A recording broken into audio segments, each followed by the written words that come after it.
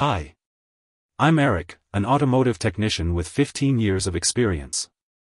This video is going to explain the meaning of this error code, and show you how to diagnose and fix it.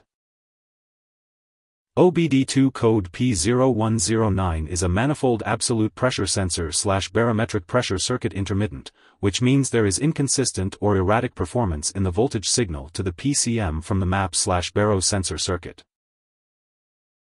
When you encounter this OBD error, the vehicle typically exhibits the following symptoms. 1. Check engine light will illuminate.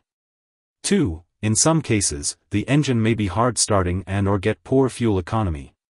3. In some cases, noticeably poor engine performance may occur. Now we talk about possible causes, and how to diagnose and fix.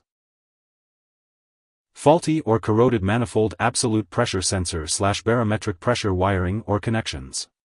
Check the map sensor connector with the key on and the engine off. There needs to be a steady 5 volt reference voltage and a very good ground. The third wire will be the map sensor signal wire which sends data to the powertrain control module. Find and use the proper engine performance wiring diagram to discern the proper color and position of these wires in the connector. It never hurts to do a key on engine off vacuum pump voltage output test of the map sensor. You should watch the output on the scan tool as this will verify the harness and connections as well. The voltage should steadily decrease from 5 volts to less than 1 volt as you apply 18 to 20 inches of vacuum. Inspect the map sensor vacuum hose and if the map sensor plugs directly into the intake manifold, be sure to check its seal, as they can split and cause erratic readings. If faulty or corroded wiring or connections are found, replace or repair the wiring or connections as necessary. Intake manifold vacuum leaks. Inspect the intake manifold for any leaks or cracks. You can use a smoke machine to locate any leaks. Also, check the seal of the map sensor if it plugs directly into the intake manifold, as they can split and cause erratic readings.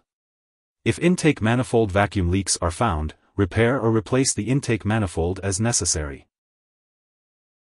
Manifold absolute pressure sensor slash barometric pressure sensor is defective. As you drive the vehicle, compare the values to the map sensor PID or parameter ID. The map sensor voltage values should rise and fall with changes in engine speed and engine load. Typically the values will vary from 4 volts or more when accelerating to 1 volt or less when decelerating. If the map sensor is found to be defective, replace it with a new one. If there are uncertainties, feel free to engage in discussions by leaving a comment. Alternatively, when facing difficulties, it is advisable to seek assistance from a professional auto repair shop and technicians. It is not recommended to handle it independently, especially when uncertain. Thanks for watching.